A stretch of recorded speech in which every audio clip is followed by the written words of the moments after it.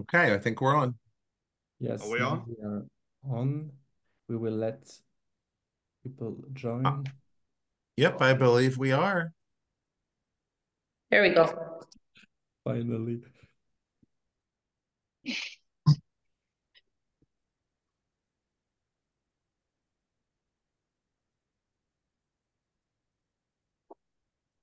So we are already 60 people.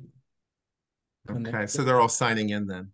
They were all waiting for more than one hour. Sorry, sorry, people. Welcome. There's always a technical difficulty. That's what makes it fun. Yeah. But it's it's supposed to be so easy and it's always uh Mm. comme ci comme ça. With technology comes challenge. Technology brings challenges. Yeah. I hope we will have some friends from Australia because I know for them it's very early, even more if they had to wait. Sorry, Australia.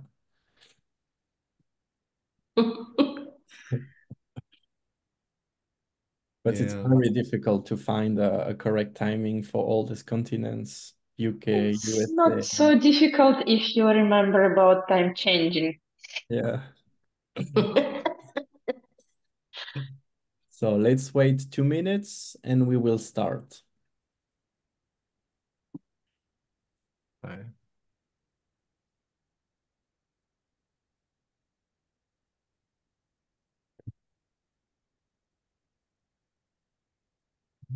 Aliona, I cannot remember if um, um, people who have not sent the registration before we start can join. Uh, it depends uh, which uh, Settings I did. setting you did, yes. Okay, If it's now- only by registration, you need to approve them to be able to uh, join. If no, they can, everyone can join. I know, but it's okay. I can accept. I still have one to accept. Mm. Okay. Yes, yes. But you will see it online in, in this list if you need to accept someone. Ah, okay, okay. Just sometimes refresh the page in case. Uh, I don't know how I can refresh this page, but okay. So I think we can start. Okay. It's already, uh, for me, it's already nine and four minutes. So uh, before starting, I would like to say sorry to everyone. We are a bit late for some of you, and we are in correct timing for others. It's my mistake because I forgot the summer uh, changing we had here in Europe. So uh, we are a bit late now, and for some other people, we are on time. So sorry. And how we say in French, uh, we learn by mistake. So next time I will write something on a flyer. I will check if there is a changing time during the weekend or not. And uh, we we will start. I will introduce our speakers, but before introducing them, I just would like to uh, make some points more clear. Uh, tonight, it's a round table between Chihuahua passionate people. We are not here to teach you something. We are not here to tell you that there is only one true version of something. It's just a discussion between um, friends or uh, new friends and future big friends. And um, it's not a seminar, it's not a webinar, it's just a discussion. And I have already read and seen some people saying, oh, you will speak only about faults. It's uh, a bit sad to focus about faults. Why doing that? Blah, blah, blah, blah, blah, blah.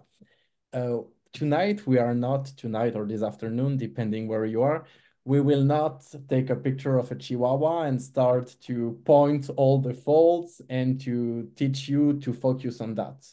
But it's important, and we have to keep in mind that some people are um, just beginning into this breed. And even if you are into this breed for a long time, it's always good to refresh our spirits and to have an open vision and open mind, open minded uh, our brains to see what our friends, colleagues uh, think about some uh, points. And the points that we will speak tonight are the weights in the Chihuahua breed. Then we will go to the Molera, Fontanelle, and we will uh, speak about teeth.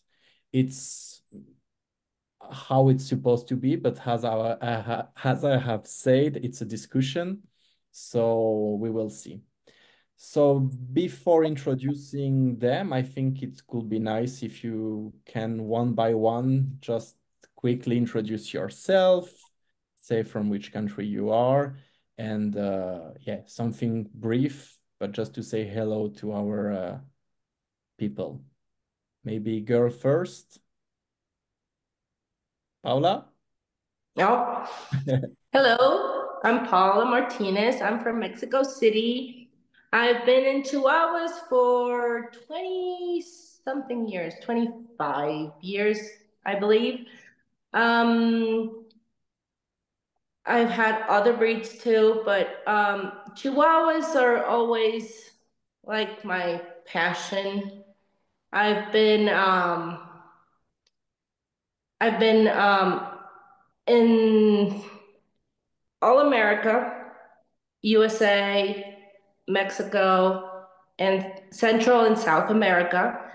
My mentors in the breed have been very important to me. I've always been learning, and I always will be continuing learning about the breed. Um, Billy is one of my mentors, Erica Lanasa, and Peggy Hackleton in her time. And that is it. We will try We always try to make the breed better yeah, and, and do everything nice. And we will learn more of you during this discussion. Aliona? Yes. Hello, everyone. Uh, first of all, I need to clarify my position because by um, Italian Kennel Club, as judge, I uh, have to uh, ask approval to represent um, my country as a judge. But today, because of time issue and uh, so on, I'm not speaking as a judge. I'm speaking as a breeder, as exhibitor, and as a person. So it's my personal opinion in our discussion. I uh, fell in love uh, in breed in uh, 2010. It's my first dog ever, and I dreamt about dogs since I was a child. But I was able to get my first dog when I already grew up. Uh, I started my kennel in Ukraine under Ukrainian Kennel Club, uh, and I moved to Italy since uh, four years. So now we are resident in uh, Italy and continue our kennel. We were lucky uh, to move it a little bit before, but uh, also part of my dogs and my family stayed there when everything started. And thanks everything universe, we were able to bring everyone and everything here now. Uh, I uh, did a lot of trips as exhibitor all around Europe and Great Britain as well a few times. Uh, uh, my dogs, uh, I'm lucky, maybe because honestly, in Ukraine we had no mentors, and this is a problem. So I uh, did my own mistakes, and I learned it on my own mistakes.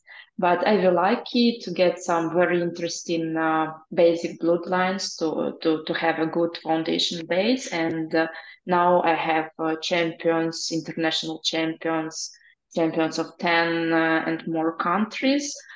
Uh, veteran world winners, uh, what for me it's very important because it shows also that um, all dogs they're still with us and they're still showing their qualities. Um, so th this is Thank my you, position for today. Thank you. Clive from UK. Okay. So I've been in the breed for about 28 years. It's um, been a lot of um, a lot of it has been through pure love of this breed. I just started off as pets, moved from the breeding to the exhibiting to the judging. They're, they're the most beautifulest breed in the world. I mean, nowadays I only seem to show the veterans, but the veterans are still very beautiful as well. I still have a lot of respect for this breed. I love it when people, newcomers, come into the breed and wanting to learn and wanting to follow the paths of everybody else. I just think this is just the best breed ever. And that is my final bit on that. Yeah. Thank you, Clive. And uh, last but not least, from America, I'm very, very touched to have him because, uh, as I told him before, I I don't know him personally, but uh, we we are friends on Facebook for 12 years. It's not nothing, and uh, I really uh, admire admire him and all the good uh, things he's sharing on his page about the breed. And uh, Paula, Paula, you are lucky to can call him a mentor, but even just by social media, I have learned a lot of things. And this, as I told him, I have discovered a lot of very good doggy books so I'm very pleased to welcome Billy Miller. Billy, if you can introduce yourself, please. Um, hi, I'm Billy Miller, for those that don't know me, and I live in Baltimore, Maryland, in the United States. Um, I started in the breed, I want to say, in the early 1980s. Um, and primarily, once again, I did purchase a show dog, but my main goal was just to have a great pet. I was raised in a house with other breeds, and I always wanted a Chihuahua um, from that first little dog, and she wasn't very good. Um, wasn't one of my better animals quality wise, but I was hooked. The one thing she did have was an amazing temperament and a huge heart that, uh, you know, the heart of a lion. She was this little tiny dog that just loved life and um, really made me fall in love with the breed. And I spent after that little dog years uh, breeding my own dogs becoming a handler and showing chihuahuas for others. Uh-oh. Wait your micro billy billy you're i'm muted.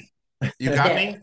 Yes. and then i joined uh, one of my mentors melanie newell bayard chihuahuas in starting to breed with her. And later uh, my best friend in life erica lanassa and my husband actually when i met him joined us in our uh, you know, effort to, you know, make a better mousetrap, so to speak, and breed a better Chihuahua. Um, I still have Chihuahuas, and I can't imagine my life without them. I think, you know, uh, it's not about showing for me. I just love the breed. There's nothing better than to sit around and watch Chihuahuas interact with one another. Thank you so much. So we have four passionate Chihuahua people with us tonight. Tonight, thank you so much for being with us. So we will start to speak about the weight in the breed, uh, just to, to make it quickly clear. In the FCI standard, we have a limit size of three kilos. And on the Kennel Club and AKC standard, we spoke about six pounds with around 2.7 kilos. So slightly smaller, slightly, um, not smaller. Uh, Less weight less weight than yeah. we have in the FCI standard. We are 300 grams more generous. yeah. So um, first of all, we will speak a, a, bit about breeding, about showing. My first question that I would like to ask you, is there a minimal or a maximal weight in your country for breeding? No. Or, Paula? No, here in Mexico, we don't have a minimum. No. We don't have a minimum um, we do have a lot of bigger dogs right now, which I don't know why um, judges aren't doing the job of the FCI standard to um, weigh them. And there, I think the problem is that right now the um, the weight is um, over because of of the judges not stepping up and doing what they're supposed to do, what the standard says. I personally, when I breed, I since I have the US is just over the border, I breed for FCI and to be able to show in AKC. So I have a double job. I have to do a standard, a, a mix of mix of the standard, which is not very different, but you the weight is over here in Mexico in FCI, it's 300 grams, which is a lot for a little Chihuahua. So I have to uh, breed smaller dogs or, well, under six pounds. And, and That's without, what I, without regarding dog shows, uh, are are uh, do you have in your in your head in your mind uh, a minimal weight for your females or not? a minimal weight, I would say it would be like a little bit over two kilos. Okay. Gotcha. I, I ask it to you Two because kilos. Uh. A small bitch, I am terrified to breed. I am. I've known of some that have been free whelpers. You never know. And you have a big bitch and you have to do a C-section and complications and everything. So I don't know if it's genetics or, or what it is, but I don't have a minimal. Well, I do have a minimal. It's two kilos okay. to breed. I, I, I start to ask about this restriction because, for example, here in Switzerland, we cannot use a female under two kilos and we cannot use a male under 1.8 kilos. Interesting. Oh, See, yeah. the United States, uh, at one time, which might send people aghast, I believe that, you know, standards through the years have changed, obviously. And in the United States, at one point, um, they actually allowed the long coat to weigh more many, many years ago. In my lifetime, when I started showing, the standard said two to four pounds preferred, two to four pounds um, preferred, meaning if all else is equal, um, go for the one that's two to four. Um, if you're comparing dogs, when, yeah. And I think as a breeder, it's hard. Um, my mentor taught me a valuable lesson. I mean, one of her great lines was even mice have babies. Um, so she has bred smaller ones. And I remember years ago, and I've told the story many a time, there was a famous terrier judge, and she only judged a few toy breeds, Manchester Terriers and Chihuahuas and we had two chihuahuas entered.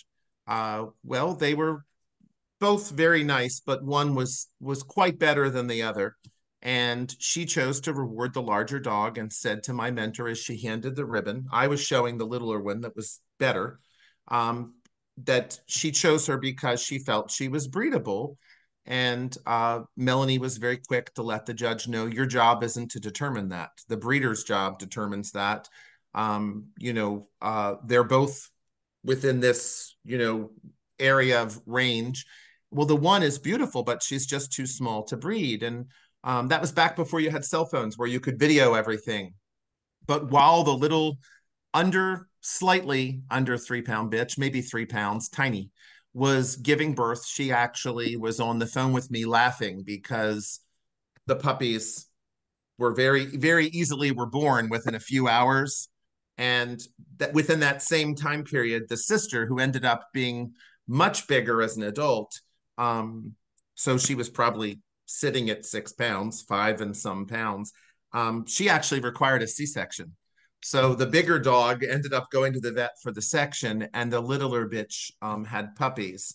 Um, but here i would say you know we definitely my personal preference that has nothing to do with judging or the breed standard you know, I always am happy when they're sitting above that four pound range. Um, that being said, when we've had beautiful bitches and they happen to be smaller than that, um, I've had smaller bitches free well. Um, uh, so I don't like to say what's true is always true for the bigger dog because you have things like genetic issues like uterine, uterine inertia.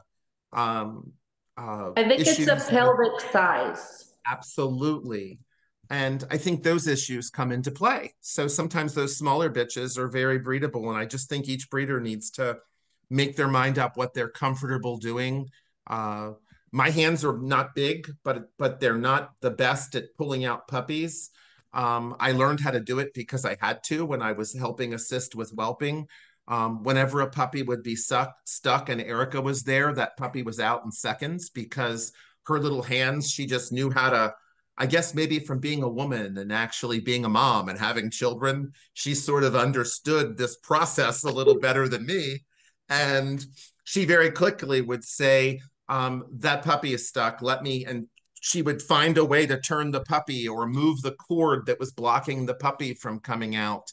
And I mean, I can't think of the the nights where we were running to the vet and I was driving and she quickly we would think we had a section on the way. And on the way to the vet Erica would quickly figure out how to get that puppy out.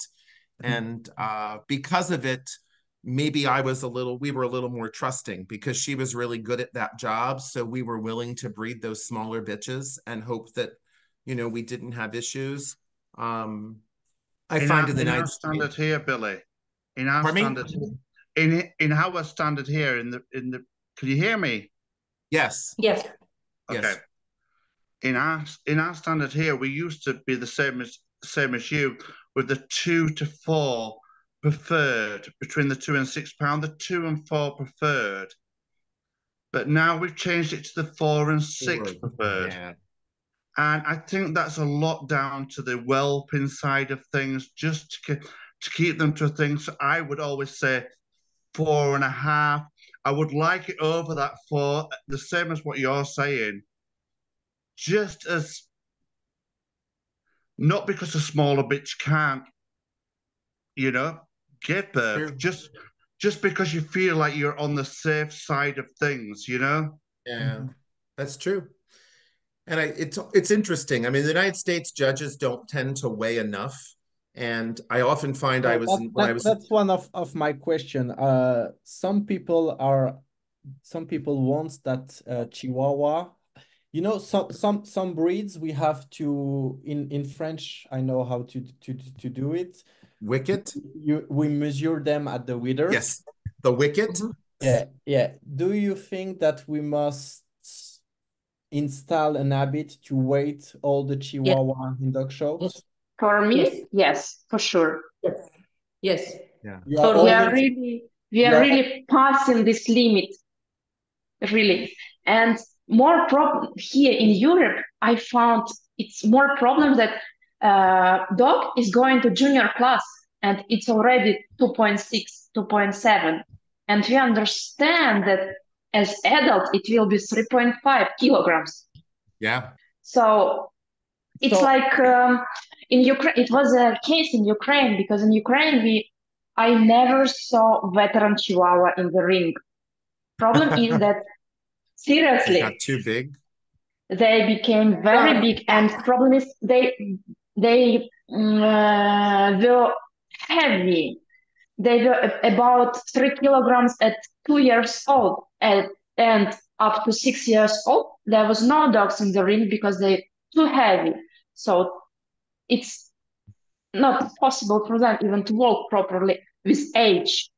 Yeah, But it means that if you start to weight them all at the dog show, uh, you would like to have it and to have it in a mode very uh, okay. If it's if we say that the for example for us FCI it's 3.0 the limit. If you have a dog 3.1, 3.1 it's out. Eliona, you see it like for that? me, yes. Okay, Paula, the same. Yes. Don't feed them. And so you can show them. No, there is there is by the way there is this joke in uh, Czech Republic uh, that uh, one of their club of Chihuahua they don't accept dogs more than three kilograms for breeding. That's why uh, breeders under the this club they're not feeding their dogs to pass this breeding exam. Yeah. Oh, The dog that's must be in co the dog must be in condition to be Yeah. Yes. to be Yes, but to pass this breeding exam, they're really not Oh. feeding them or feeding with a half portion. This is Yeah. already a little bit obvious for me. Too much. It's too much. But we need to find the harmony between show dog and breeding dog. For sure, yeah. female with age, with liters can be more than three kilograms. We all agree. It's uh, yeah. it's like in humans. But okay, if you got this female, keep her at home if she's giving your nice puppies, nice standard puppies. Yeah. Right. What can you imagine to to check the weight of the dogs in UK shows? No, I mean it's a thing that we don't do here, check the weight. But what you've got to do is through your own eyes, imagine the size of what only through your own things and from dogs that you've seen in the past, you you get an image of what should be right. The last thing we want is to be weighing something that a tiny little dog could weigh so much, and a big dog, like we're just saying now, could weigh absolutely nothing because it could be just keeping the weight down. So it's yeah. something that we really couldn't do. But it's all about the eye, isn't it? I yeah. Mean, don't, don't I think I think in the United States the interesting thing is sometimes like I'm hearing people say that in some places where uh, I believe uh, Alona said that uh, you know puppies are too big even when they're in a junior class. In the United States, sometimes my concern is judges. I've seen it where they have mentioned they've opted to leave a dog out because they thought it was too big, like not to place it very high, when that could be your winner. If you just put it on the scale and if it was clearly six pounds or under, they could reward that dog the breed or take it as far as they wanted in the class. And then there's yeah. times where I've seen dogs that were so big in the ring um, that it's it's hard to to bite my tongue um, thinking that judges don't realize that's over six pounds and they do choose not to use the scales. And so when we were working with judges ed, oppor- you know, opportunities for judges, um, I always tried to stress the fact that when you're in doubt in the United States and you're not sure how much that dog weighs, it looks like, well, maybe it could be. Um, when in doubt, weigh it. And once you weigh the dog, um, you can opt to, you know, if the dog's in, you can put the dog up as far as you want. If you weigh it out, it's removed from the show ring. I think what someone else said was that dogs have to be a certain weight, you said, in the Czech Republic to be bred. Is that what it was? Because up to three, here, up to three kilograms. Yeah, here some animals aren't shown because maybe I have kept not many because you know my mentor always warned me that if you keep a brood bitch like that's going to be too big, way too much, um, you really want to be careful keeping another one like that because then you're going to have a line of animals that are all seven and a half pounds. Um, but we have occasionally kept bitches that were sitting at that six pound limit. And, um, you know, the AKC doesn't tell us that we can't breed them. We can breed an animal that's over six pounds. We just really shouldn't be showing it because it can be disqualified. Whereas I think what you said was they have to be so big to be bred. I have a funny also conversation one um, with Ukrainian breeder about that female should be big, big and long, because long female means plus two puppies. What? Seriously, yes. The way our standard measures and, from point of shoulder and, to point of buttock, uh, it's a very compact uh, breed with my husband, who is um, diplomated in uh, small animal reproduction, we also even would like to make a study, a statistic study about if, it, true or no, because I heard it really all around Eastern Europe that longer female, Chihuahua females should be longer because it's make more puppies, plus two puppies. Long bitches make long puppies of yeah. both sexes. many big males are not especially producing big puppies. For I don't as females as well. Yeah, you have some big males that are producing. Uh... I had uh, to home one male uh, recently. Uh, he was standard size. He was 2.6 kilograms, uh, five years old, so normal size at all. But each litter he gave me two, three puppies 1.3, 1.4 kilograms as adults. Yeah. So, so yeah. I, I think I, it was something he gave to his puppies. So that's why I recommend him because he was normal. a normal size female, bigger females, normal 1.3 still normal, but bigger females kiss standard size, but very small puppies. I I have a question. Uh, I have a question. Uh, who wants to answer will answer. But as some of you knows, I I love Chihuahua books. I have a lot of Chihuahua books, and for what I see uh, in pictures, it seems that in the past we had more smaller Chihuahua than today's. Maybe not always more sound in anatomy, and some yes, some no. And my question is, can you relate a link with the improvement of the overall structure in the breed and the size? Um, I mean that can can we maybe not state, but can we say that sometimes uh, smaller dogs are maybe weak in construction than dogs a bit I think, bigger? I think Uh, having the sure. smallest. It, Go ahead. it, it, it's for sure because it's easier uh, to see a nice movement in bigger dogs because they have bigger bones. They have uh, it, it's, it's just easier, even easier to breed them.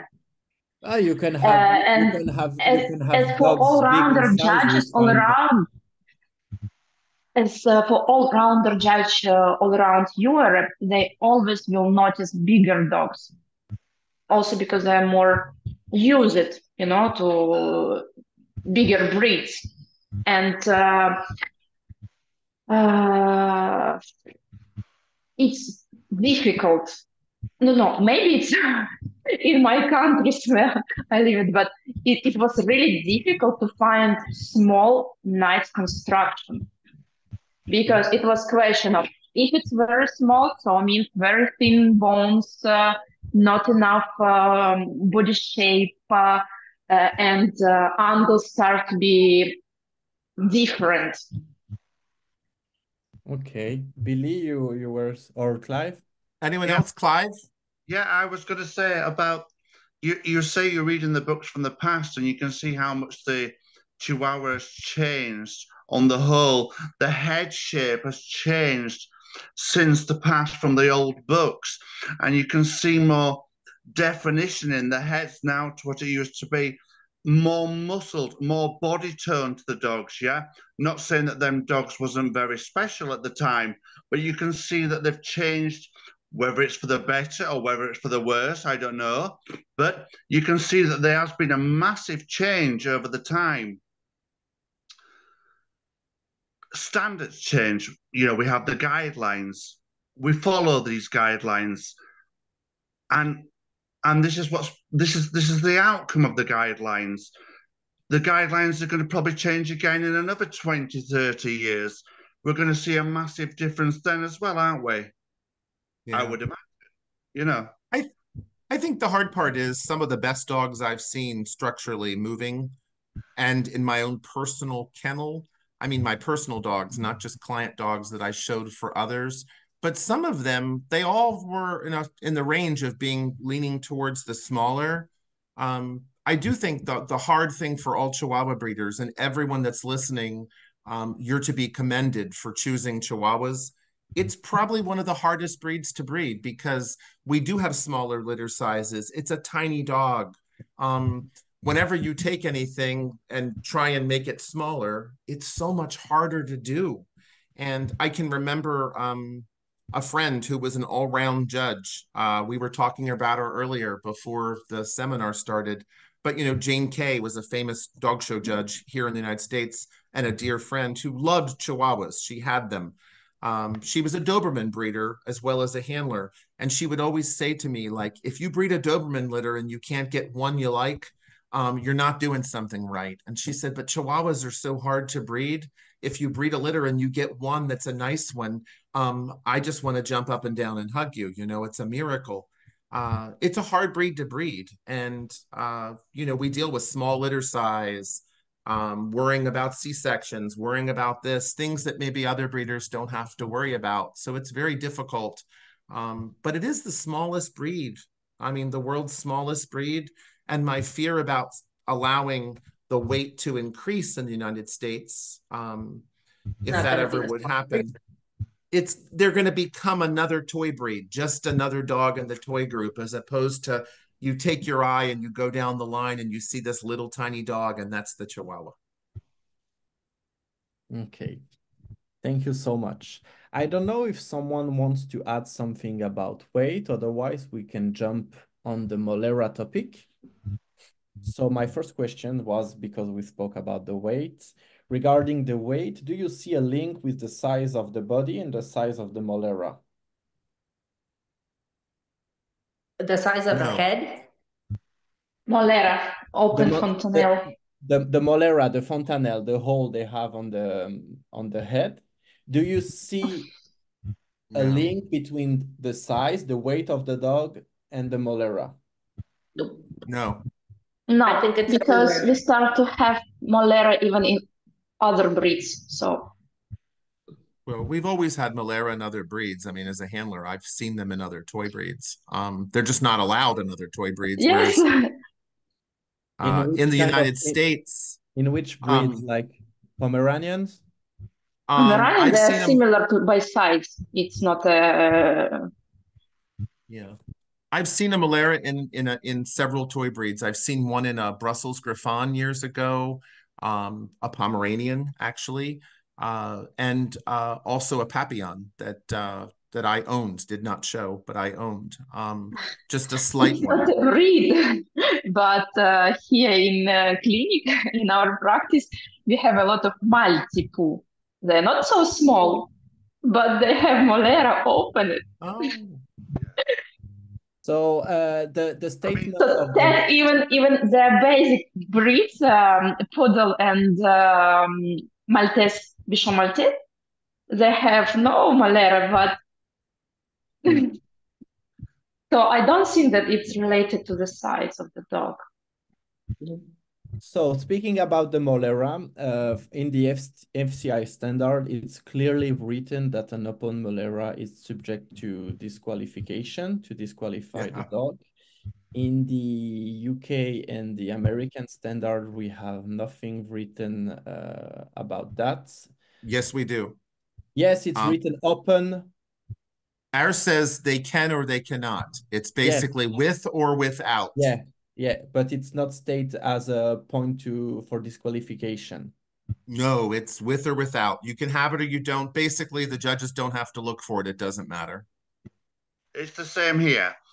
We've Yeah. we we've got the um we're fully aware about the Molera on the Chihuahua. It's part of the breed. We have to accept it. It's it's there. We don't feel for it. We don't particularly look for it. It's something that's in the breed. It's part of the Chihuahua. We just have to accept that. Okay, I so um even Probably it's uh, a lot of question for us with Paula, as representative of FCI standard. here, Well, here here, in uh, Mexico, they don't they don't check for Molera. I'm sorry, we're FCI. I it's probably bad I'm telling this, but they don't check for Molera. You do not have the judge slightly touching the No. head and noticing. No, Okay. even judges that come from different countries of FCI do not check them. They don't. We have judges from Russia. We have judges from everywhere, everywhere, Yeah. and nobody just goes. Nobody does nothing. It's I do know of I do know of American dogs that have gone overseas and been disqualified, even animals that have won Oh, at like points at nationals. Um, I pulled up a book, which is kind of interesting, The Chihuahua, and inside is a very interesting interesting excerpt. James Watson, who was an early pioneer in the breed, um, writes about his travels going around and collecting little chihuahuas, any little tiny dog found south of the border of the United States. And he mentions a visit to uh, a gentleman's home Wait, which And- page? What's the, the page number? Because I on page 33.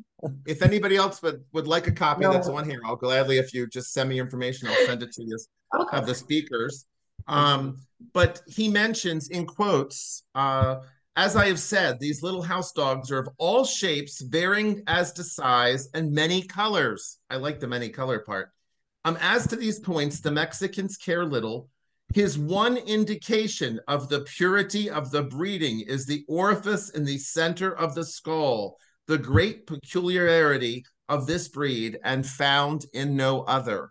Um, that was a quote that he kept that was written prior to that was said prior to 1914 um that's a long time ago i'm going to go with with or without molera. And uh, i've shown i probably would not have, be able to show a dog fci because every chihuahua that i've shown including the dogs that currently and have held best in show records in the united states and every chihuahua that i've shown for clients has had some kind of molera. It might be small and this book, I believe, also mentions it um, as well. I'm sure others do. I've seen it where they close up, like they start off kind of big and then they get a little smaller. I don't know about you all, but have you had that where Yeah. as the dog matures, the molera closes up a little bit? Oh, yes. We hear we we Sometimes it does, sometimes it doesn't. we we hear we we we hope that in time maybe it closes. It's not something that we feel for. It's not something that we we don't expect judges to come in and start placed on their heads and carry on.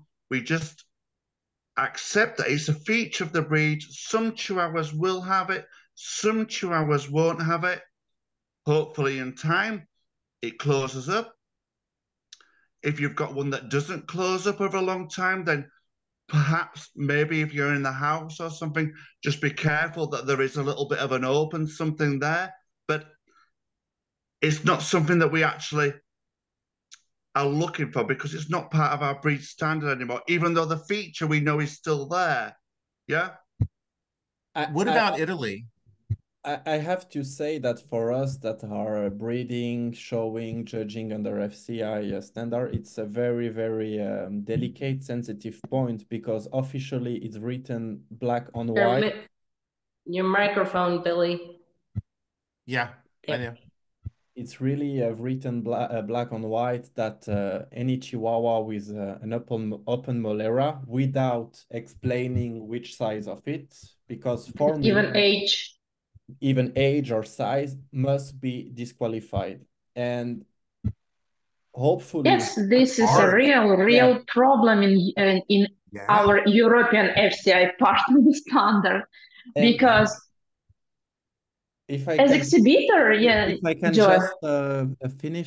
For me, uh, for me, the um, I I cannot tell it uh, like uh, you are saying in UK and America that you even don't touch it because for me, I don't know. I have this really a bit since I have Chihuahua to check it. I'm not pressing. I'm just, but uh, for me, it's really important. Even if I'm not vet, because who I am to say what it's a sound or an unsound molera, but I have this feeling that I can just by touching say if it's an acceptable or not molera, then it's something very difficult for myself to explain to someone else that is not what is acceptable for me, what is acceptable for you, for you, for you, because we have no uh, specific uh, size, millimeters written somewhere. We have no age state somewhere. And for me, some Molera are okay, and some Molera I have already touched. Some dogs with very heavy hold, with multi-hold. So one here, two here, one behind, and that's for me something unsound that we do not want in a dog show. And in the That's opposite, not a for me, Molera. uh, yeah. And The for Molera me, is right here. yeah, but you have some dogs with uh, other holes, and people say, "Ah, it's uh."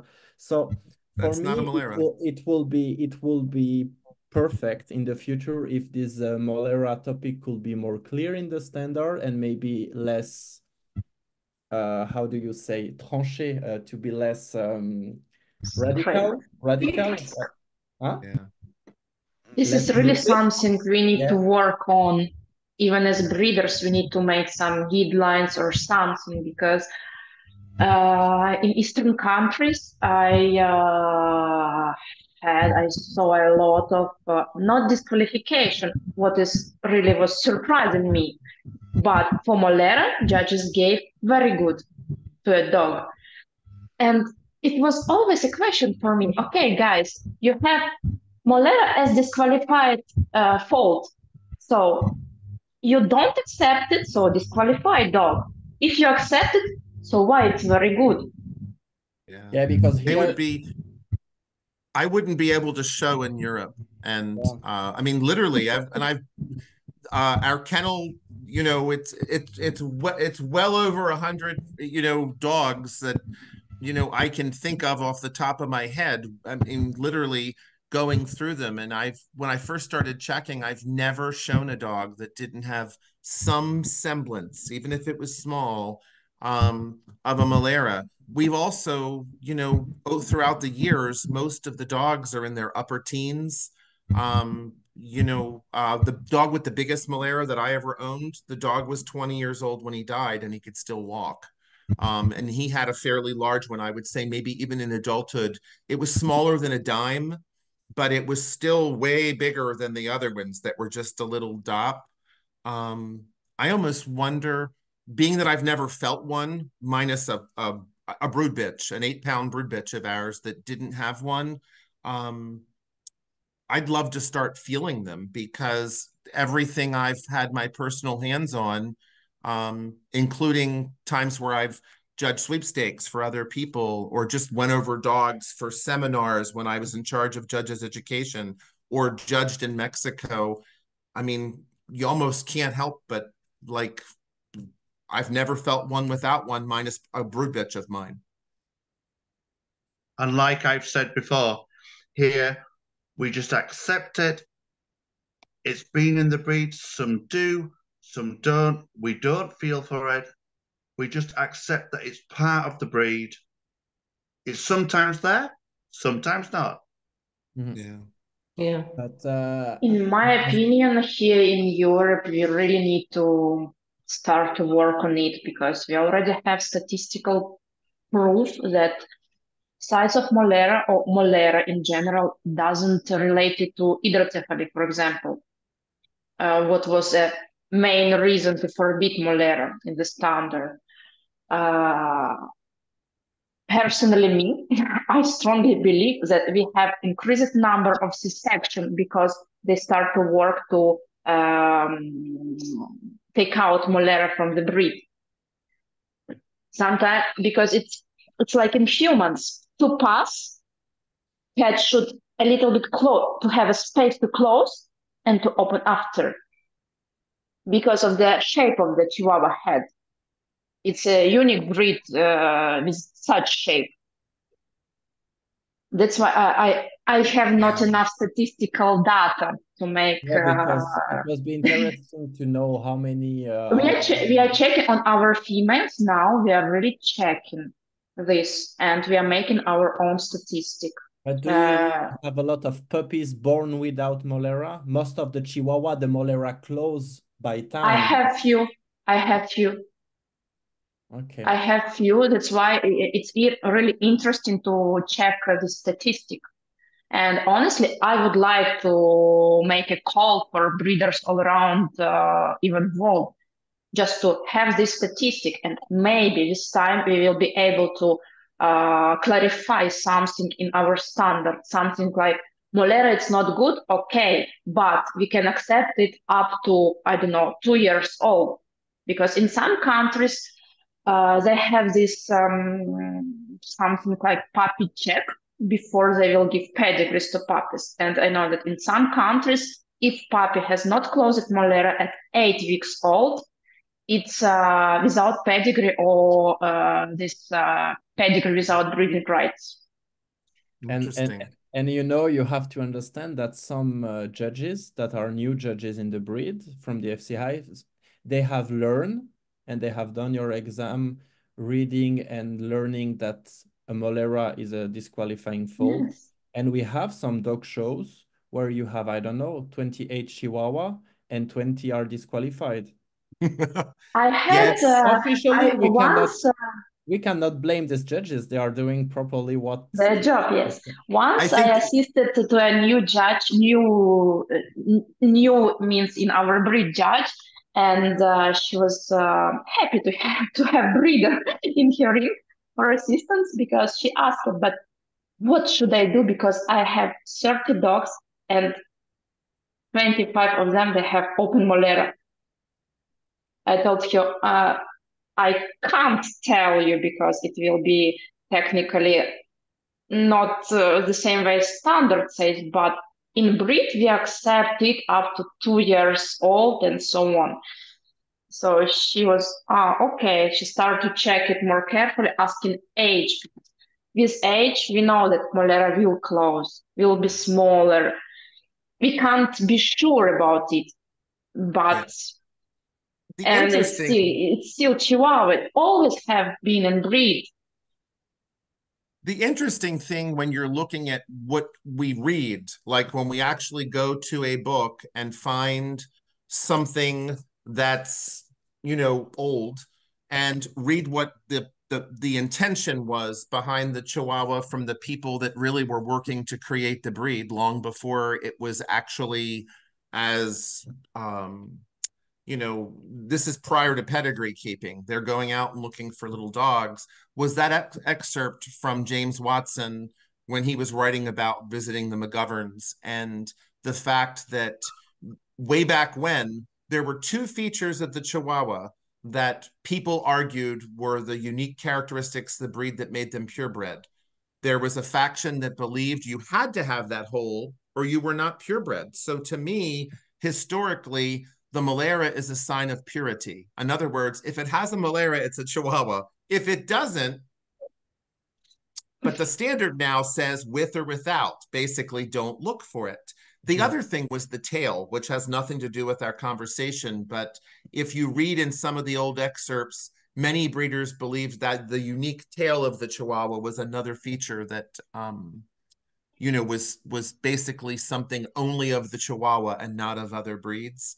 Um, I heard about that though. A friend, actually, a dog, a friend called me years ago, and a dog that was winner's dog at our national specialty weekend, and it was a breeder judge, Pat Laracy, who's now deceased, but she was a woman that devoted her life to the Chihuahua Club of America and a very popular Chihuahua person.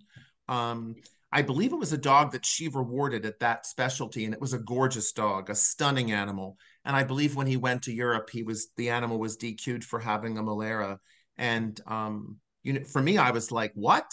And all the times I've worked in judge education and everything else, I never once thought how different our standards are. That something that here we don't even pay attention to. And then you go over there and this otherwise beautiful little dog is disqualified for it. So it's definitely the perspective of FCI is so different Yeah. than how And- maybe and- England sees And it. just to jump on it, uh, someone wrote on the chat, Carlo Alvarez, maybe you know, Paula is from Mexico. He said, Hello from Mexico. I remember that Germany was the country that began asking Mexico to change the standard about the Molera.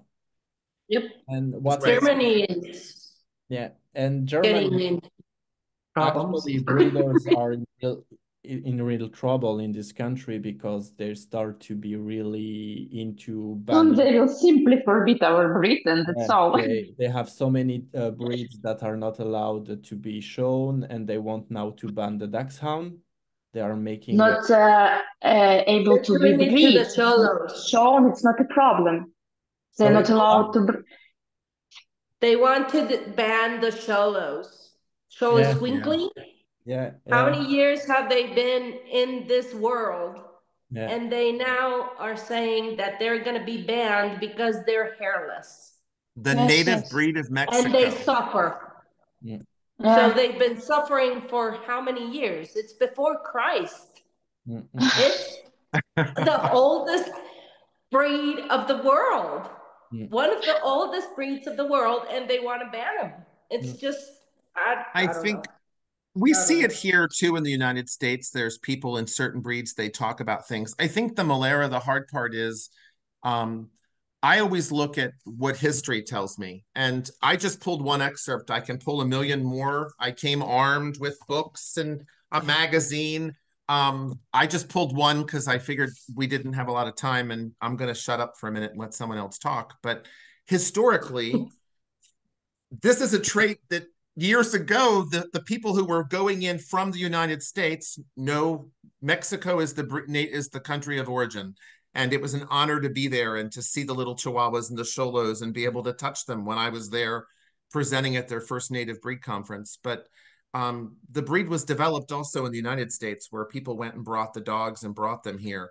And the one trait that you can read in several occasions that's documented in history the one trait that makes the dog a Chihuahua is having a molera.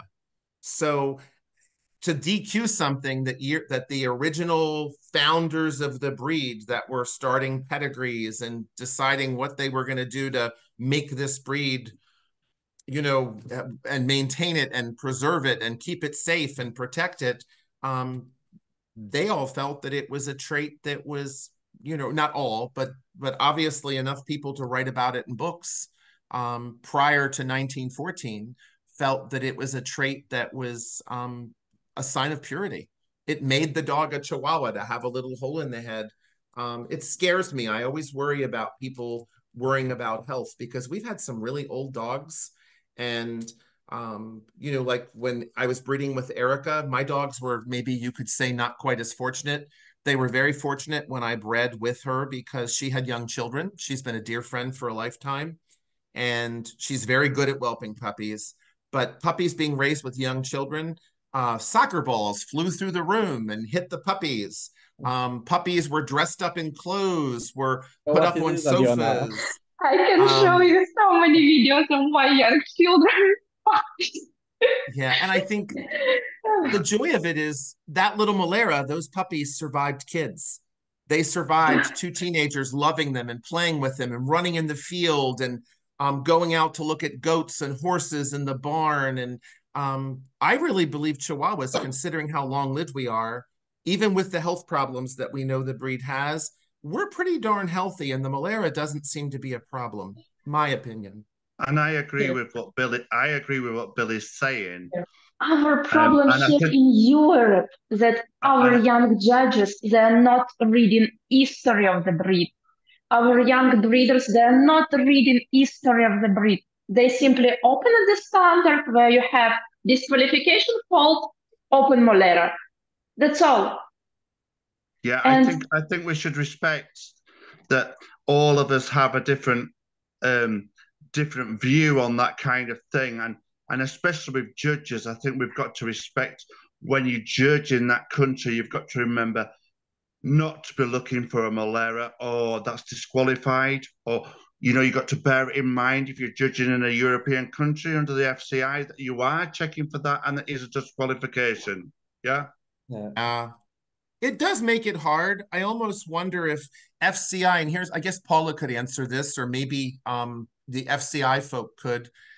I'm curious as to why the FCI doesn't allow the the parent club of the the country of origin to have say over the standard. Like I would assume FCI, we would take the Chihuahua and we would simply defer to the people of Mexico. Um, it is their breed. It belongs to them. There's nothing more amazing than standing there and looking at Chihuahuas and Xolos and seeing a pyramid in the distance. I did it once. Um, it was really humbling to think back and think this little dog that I love at home. Um, you know, this is where we started. We got our start here. Uh, who can is that something that is there any like does Mexico the country of Mexico being the country of origin have more say than maybe a country that has no claim to the Chihuahua minus we breed them and show them? Well, it's supposed to every breed that is um every FCI breed the the country from where the dog the breed is from supposedly does the standard and checks it and everything and all this.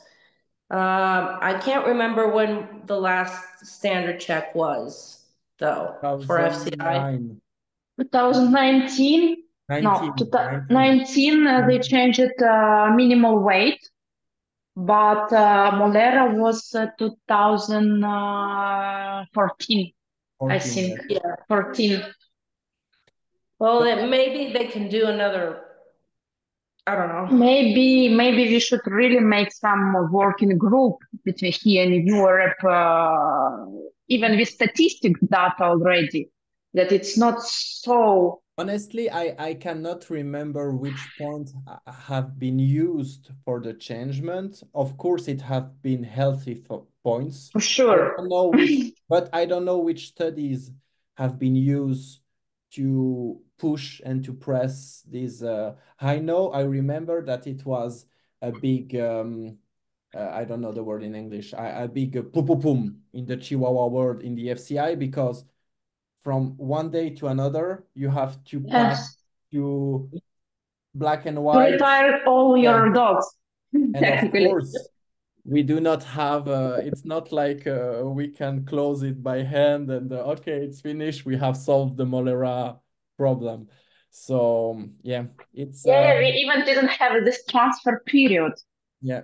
Yeah. So yes, for me, uh, uh, an idea and a solution could be maybe in the future, and maybe with the help of the International Chihuahua Club to create a, a group to maybe pro, uh, to discuss and to offer a new version of that. Especially, uh, I won't say that we have to say that all molera must be acceptable because now we are in an opposite way with the FCI standard, but maybe having a age limit because for some judges, a puppy, a baby, three months with a molera is a is subject to disqualification. It has no sense. And I have to tell you, we all have Chihuahuas at home. We know how to touch them, but I have already seen judges pushing, pressing on yeah. their heads like uh, like you want to. Uh, yeah, this is the problem. This is the problem sometimes we find with judges that come into our country sometimes do that, and people think, oh, "What is he doing?" or "What is she doing doing that?" Mm. What know? he's looking yeah. for. Mm. Um, yeah, it's interesting. It's definitely a topic that once you leave your your world, your little, you know, once I leave the United States or someone from Europe would come to America, um, it's the one point. I think the weight, there's a little bit of difference. And, you know, you can kind of like it's sort of like tolerable to some degree.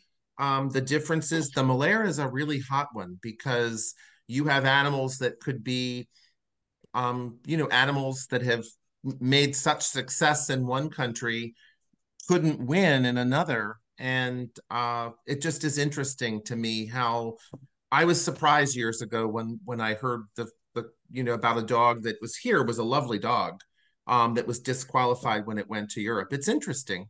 Definitely. But even okay, they're not winning. It's not a problem because shows are not making uh, such big uh, impact to the breed. But this dog technically can't breed in countries where you have breeding exam. By standard, these dogs can't pass this breeding exam and they can't breed. Yes, here and it's a have... pity, really pity to lose such kind of dogs for our breed. Here yeah. we have some breeding exam. It means it's one day during the, the life of the dog where you have to bring the dog, where an expert will tell you if yes or no you can use it. Yeah. And Interesting here. I think with now that we're able to do all the health testing that we can do now, um, I really want to commend a lot of the breeders in the United States because a lot of the ladies that are breeding um, they're focused on that health testing. They're bringing their dogs in, and any test that is suggested for Chihuahuas, they're going ahead through OFA and doing those tests. Um, the Molera, the hard part for me is I've had dogs live to be really old, in some cases, much older than others. And I've never had it be an issue where there was a that there is no personal data that I have to show that that molera affects that dog's life quality of life or longevity of life. Yeah. Um, so those two things, longe- longevity and quality or intelligence. So it's not as if that I've heard so many different myths about, well, if you have a hole in your head, your dog isn't going to be you, like they're not going to be intelligent. I've heard they don't live long. I've heard they're hydrocephalic, um, you know, that they don't have normal lives. um, like I said, our puppies were raised with two kids and went to soccer games and went to, you know, run in the fields with children and swam in the pool. And they lived pretty amazing lives. And, you know, kids are tough on dogs, they like to play with them. So those little dogs, that little hole in their head, they survived, you know, quite well in a home where they did, they lived with big dogs and they jumped on and off the sofa and on and off beds and um, you know, a bed to a Chihuahua is like jumping over a fence to a Doberman. and that little Chihuahua with the hole in the head was able to jump up on our bed. And I might add, my bed back then was pretty high off the wall because that was the style to look cool then. Uh, and my little dogs somehow found their way up and they found their way down onto the wood floors, and nobody was injured. And that little hole didn't affect their ability to navigate my home. Uh, people, now it's already one hour we are speaking, so I think that the Molera topic was quite, um, and it it can it, it can be another uh, roundtable only about Molera, but let's maybe finish the last uh, 15 minutes about teeth. I will just quickly um, uh, quote what it's written in the UK standard FCI and the American one, so you know exactly. So for USA, overshot or undershot or any distortion of the bite or jaw should be penalized as a serious fault. It's in the US in the AKC standard. And level or scissors are accepted. accepted. level or scissors in yeah. AKC. In the in UK, jaw strong with a perfect, regular, and complete scissor bite. So it sounds like uh, a description for a large breed uh, dentition. FCI scissor or, or level bite, and then it's written overshot, undershot, as well as any other anomaly in position of upper or lower jaw must be strictly penalized. And in none of our standard, it is written the number of incisive. So, um, who wants to speak about teeth? Is there someone motivated? I can speak. Okay, let's go, Clive. So regarding what your standard is written, what can you say about UK? Okay, so we ask for uh, a regular, complete scissor bite, which is the maxilla incisors overlapping the mandibula, So the upper closely overlapping the lower. So we ask when it, when it says for a complete bite, which we know a complete bite is six six with the four canines. Yeah. We know it's not always possible to get this, especially on a small dog. Yeah. But if we've got a scissor bite, maybe not complete, we're heading in the right direction. But any malocclusion or misalignment on that is either under or overshot, overbite. Our standard is very, very brief on that. But of course, we're wanting it to be a complete scissor bite if we can get it. It's very, very difficult on a small dog, but we have to take all the other virtues of the dog that's in front of us in question. If you're judging, or if you're at home, if you've got a really nice dog that just happens to have slightly less teeth than the six six, there's no reason why you're not going to show it. Okay. Yeah.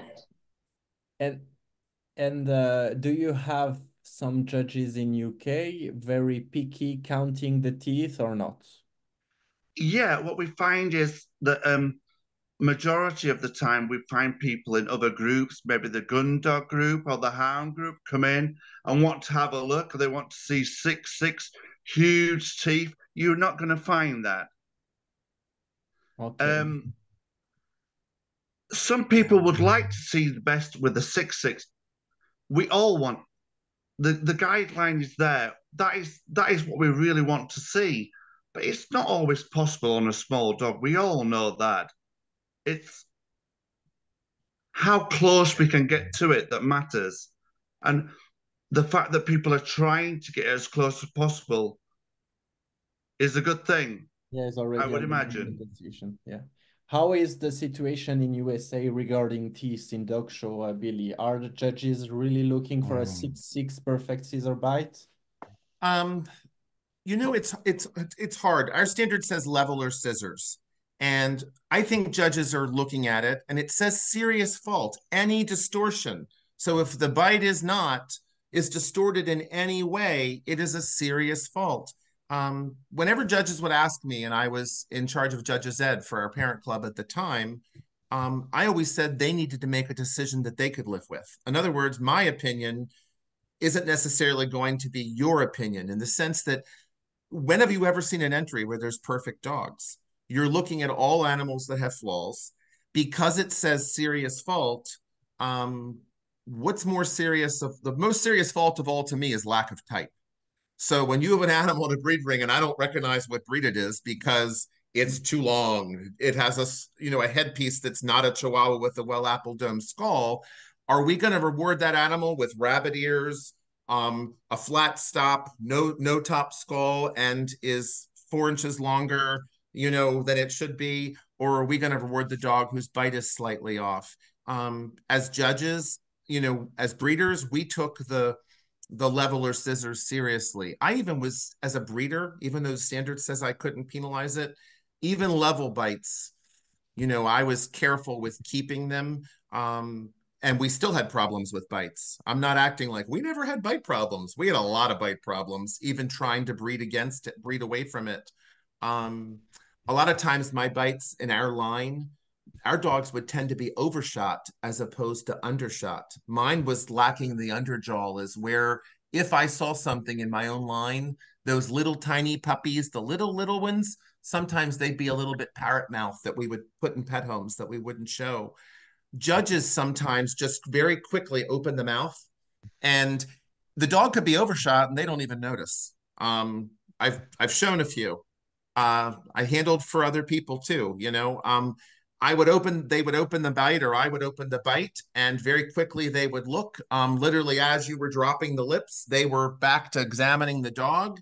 And a lot of times, overshot bites are missed. Um, to me, if you can see it from the outside, and I don't know about England, but I know a friend in England once told me that if you're looking at a dog and from the outside, before you even open the mouth, you know there's a problem. That's yes, one you should, that you should be able to see the jawline. Mm-hmm. Yeah. Yeah. I mean, you know, really this the the cheeks and jaws lean, uh, moderately pointed muzzle. We get these little squared off short muzzles, these big froggy heads that look like cantaloupes and not apple domed, and little short square muzzles. Um, I'm not saying the bite's bad. I'm simply saying the expression it, that I see is atrocious before I open the mouth. But then when I open and you see open bites where the tongue sticks out, um, that's an occlusion issue where the teeth are preventing the tongue from being where really, it belongs. That's something really common in the breed, uh, open uh, open bite with the tongue. Uh, yeah. Very and common. Yeah, and, and a lot of ex- say, I don't know, Aliona, what you think, but for me, the worst it's right, right, and it's something that Absolutely. you cannot. When they are a bit uh, overshot, undershot, it can move during when they are growing I have seen dogs changing a lot. But a wry, a wry mouth for me is the worst because the tongue will always push, push, push. Yeah, uh, and I think it's a structural deformity. Aliona, for you, what is uh, something that will stop you for uh, keeping a puppy regarding the teeth or a, a, teenager? A teenager. Let's speak about teeth in general in my country, Ukraine, we are close to Russia, uh, was. and uh, thanks to Russian uh, way to judge dogs, uh, in Chihuahua, in Ukraine, it was only 6-6 and only scissors bite. Even if in standard it was written level bite, uh, pincer, it was out of ring, it was even disqualification for the bite. Uh, overshot, undershot, in Ukrainian shot, it was always disqualification. Even if, for example, Molera, no, Molera is very good, but bike is disqualification. It was really funny by standard point of view. Uh, for me, uh, mostly the most important uh, in teeth is health. I really would prefer dogs with six four but big strong teeth than very small, not in line six six. Mm. Always. Uh, and I always uh, check in uh, molars because for me it's always uh, also important because in the not in position it will give you not fully uh, closed mouth so tongue is out tongue will will um, with time uh, it will change angle of incisors. So uh, dog will lose teeth more uh, in in more young age. Mhm. for me uh, first of all it's health of the mouse.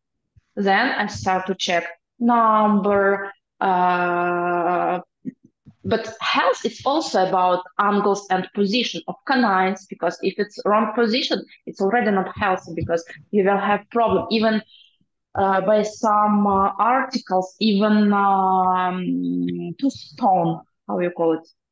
Tarte uh, tarte on french Comment? tarte tarte uh-huh on, on teeth you have these stones on the teeth dirty teeth with Ah, this le tartre, le tartre. oui tarte How do you call that when you have to remove the dirty tartre? Yeah, the Tartar. with the Tartar? dentist.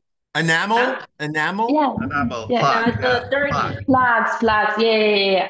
even this uh, i read a few articles that it's also because of um, occlusion and the wrong position of teeth. So dog can't uh, use properly and clean mechanically naturally properly teeth.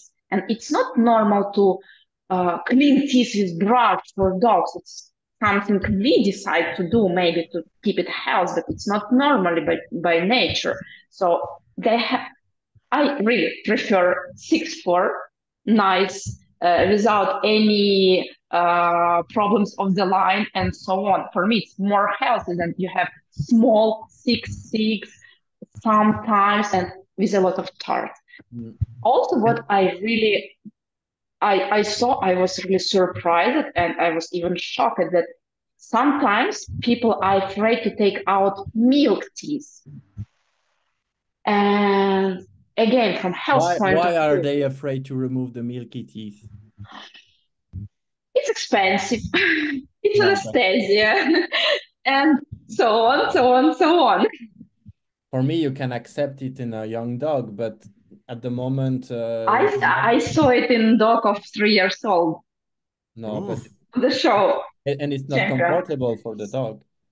Well, what Uh, about Mexico? Paula, Is Mex wh- when you're looking at bites like Mexico and when you're looking at your litters, how do you do you what will you accept and what will you not? Uh, I like um perfect scissor bite. I like. But we have teeth problems in Mexico. Bite problems. but will you stop uh, keeping a, a dog because he's, he's six four? No. No, no, no, no. No, I as, as long as it's scissors, I don't mind. In my opinion. Okay. Uh level I might, but it be, you know, So if like- if you have to choose between a six six level or a six four Caesar, you will choose six four Caesar. yeah, totally. But do you know many, I don't know how it is in your country, but here many people are afraid to keep a, a six four puppies because six four because they say, ah, we will be disqualified in dog show. But You don't disqualify here. in no, but here neither. I we have Eastern Europe, yes. Six have- four, I it can be disqualification.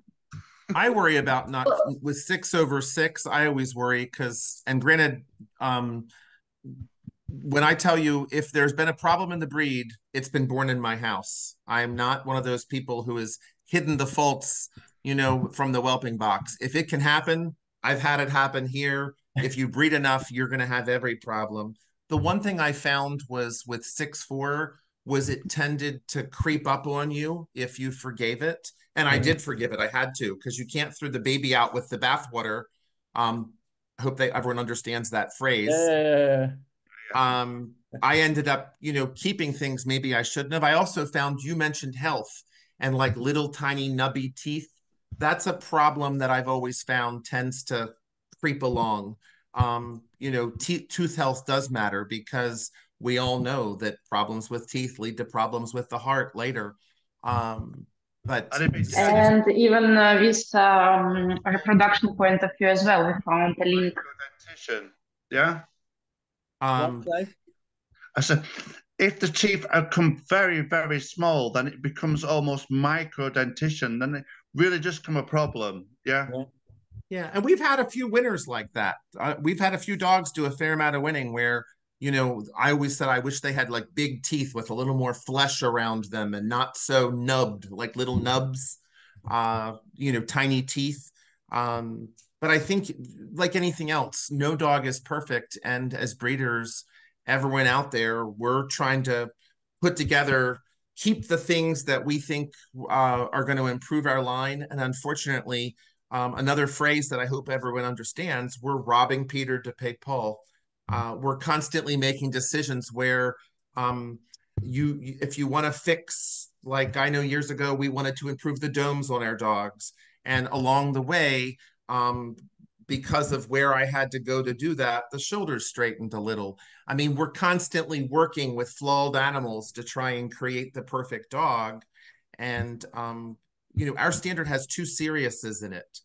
Uh, I don't know about other standards. I'd love to know. The only two places in our standard that are serious faults um, are blue in the eye, like of that of a Merle, is a serious fault. You know, if it has blue in one or both eyes, and um, the idea of, you know, this bite is a serious fault if it's not level or scissors. Um, I don't know if that means you can't reward the animal as a judge because I don't know what animals are in the ring with the judge. Maybe they should withhold maybe the dog has enough virtue that it can have a serious fault and still be rewarded um, but bites are always the one thing that i struggle with because usually the best puppy is one that is six four mm-hmm. or you know the teeth are a little smaller. And then you're like well god i said i'd never keep that. And i guess the message that i'll my personal message is never say never but it's how you say the uh, the story about the Doberman litter and the Chihuahua litter. In the Doberman, if you cannot uh, select one, it means you have done something wrong. And in toy breeds, especially Chihuahua, we do with what we have. And yeah. speaking about selection in Chihuahua, for me, it's very. Uh, I won't say it's impossible because we we have done it and we continue to do it, but most of the time we do with the worst of the litter and there is always something to accept and to deal with. Yeah. so yes billy you want to add something?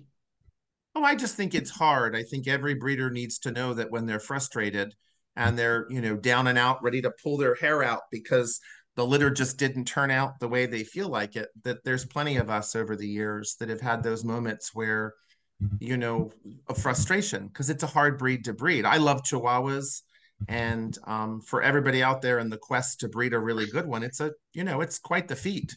Mm-hmm. Um, when I see a nice Chihuahua and I look in the catalog and see who the breeder is, um, that person gets a you know pat on the back from me because it's a really hard job. It's tough. Yeah, yeah, no, that's true.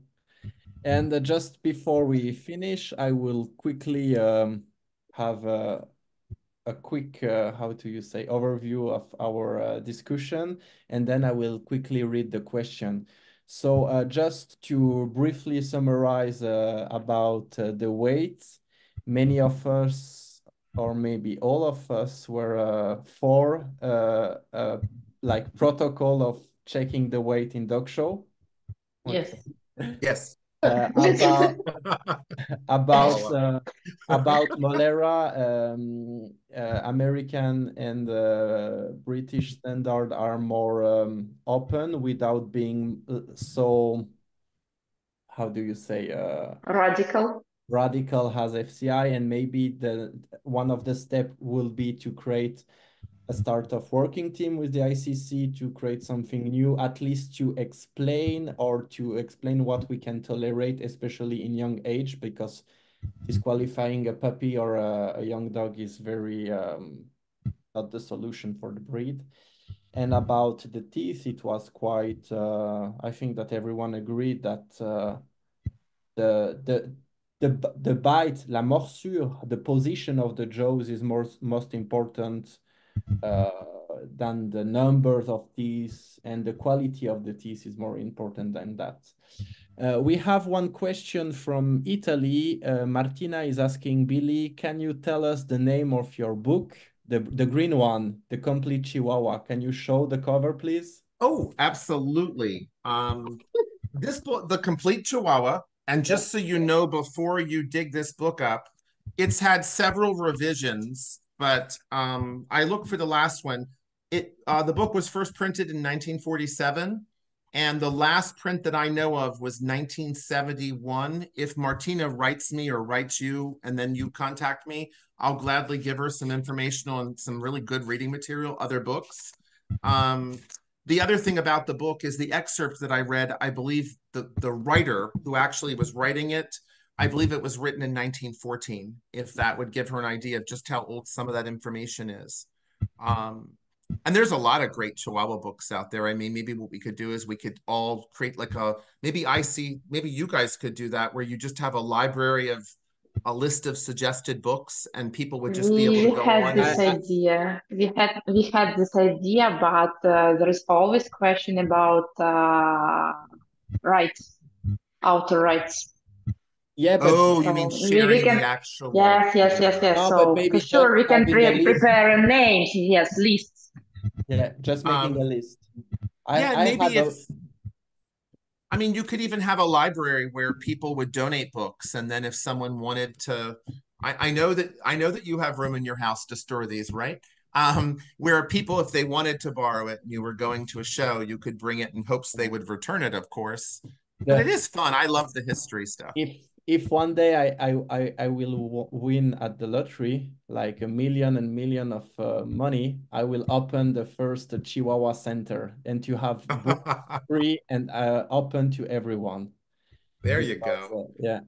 We have another question. Uh, what do you think about the size of the muzzle and losing teeth? I, I, I think that uh, is it, it means that we have now shorter muzzle and uh, no more space for a, a perfect dentition. Does someone want to add something about that? I can. I guess somebody else can as well. Um, moderately short in the United States, slightly pointed. It's not square. So it's Slightly not a little pointed, slightly Slightly pointed. pointed. Um, it's not a little flat block that when it turns to the side, it's a square here.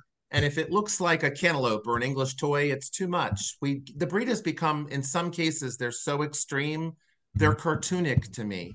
Um, we don't need to morso things. Um, you don't need to make the muzzle. It's moderately short. We talk about the dog being slightly longer than tall, and people take slight to be eight inches and they have a dachshund, but yet the muzzle says moderately short, and we're breeding them where they have a little square blocked off muzzle. How do those teeth even fit in there? And you know, I I, I have I, I'm not a long time judge, so I haven't seen uh, thousand and thousand dogs. I have seen a lot of Chihuahua out of the ring as well. Uh, now we start to see Chihuahua six six, but in line, like like we have in Shih Tzu or other uh, breeds. And That's nice. That's it, it it shows the process of making this the Chihuahua muzzle shorter and shorter.